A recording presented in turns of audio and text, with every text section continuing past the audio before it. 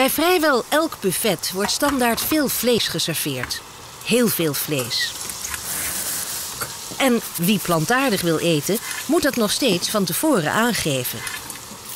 Dat zou eigenlijk andersom moeten, als je het mij vraagt.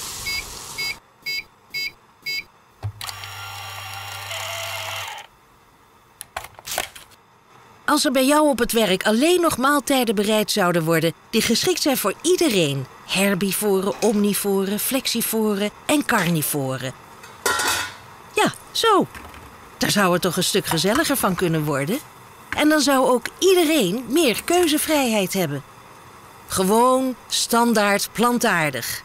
En wie er toch heel graag vlees of vis bij wil, geef dat even van tevoren door. Dit briljante plan van professor Henriette Prast wordt inmiddels al bij veel universiteiten, hogescholen, gemeentes en bedrijven ingevoerd. Zou dat ook geen geweldig idee zijn voor bij jou op de zaak? Carnivore? Geef het door.